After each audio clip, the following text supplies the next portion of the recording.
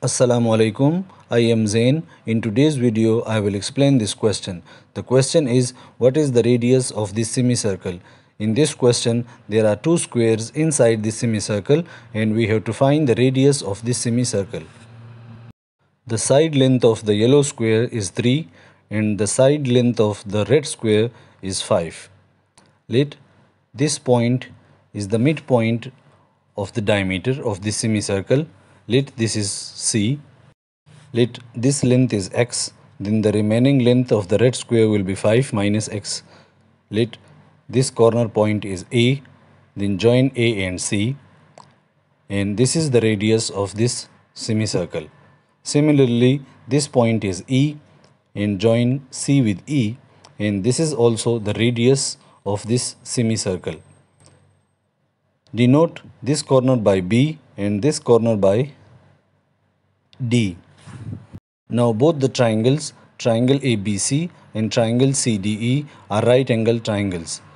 From triangle ABC, we can write 3 square plus 3 plus x whole square is equal to r square. By Pythagoras theorem, we can write this. Similarly, for triangle CDE, we can write 5 square plus 5 minus x whole square is equal to r square. Both are equal to r square, so we can compare both and we can write like this. Simplify this using a plus b whole square formula we can write it like this. Now cancel x square with x square and simplify again we will get 6x plus 10x is equal to 50 minus 18. Simplify again and we will get 16x is equal to 32. Dividing both sides by 16 we will get x is equal to 2. Now we can put x is equal to 2 in both these equations.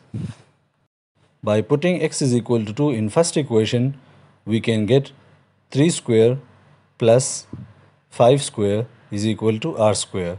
Simplify this and we will get r square is equal to 34.